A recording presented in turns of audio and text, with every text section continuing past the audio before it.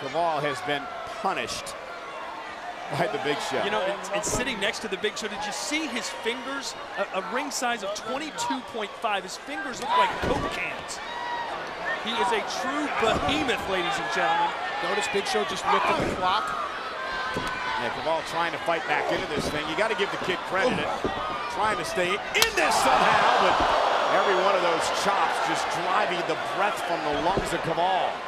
This is our captain of Team SmackDown, captain for bragging rights, the giant, the big show.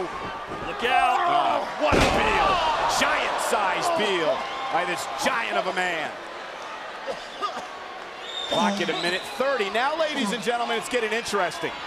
Kaval has to last a minute 25 in this matchup in order to qualify for the bragging rights team. And Big Show hasn't seemed interested at all in putting this matchup away, which is sort of uh, perplexing to me. Well, Big Show is probably also sending a message to the entire Raw team as well. Look at what you'll have to face come bragging rights. Kaval's got to find something somewhere. Uh, and Big, you know, Big Show could have finished this thing in 30 seconds. That was the point I was trying to make. And now he just crosses Kaval out and perhaps going for a, a count-out victory here. Listen, if I know Kaval, he said it's tough love.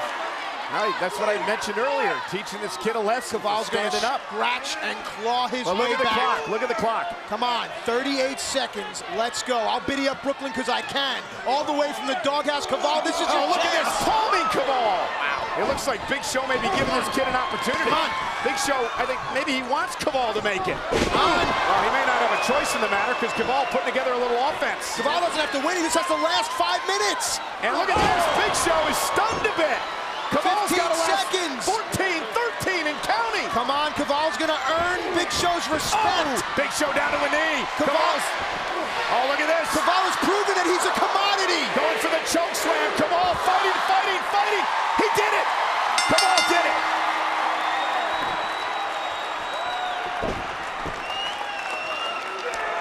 Ladies and gentlemen, Kaval has survived five minutes with the Big Show.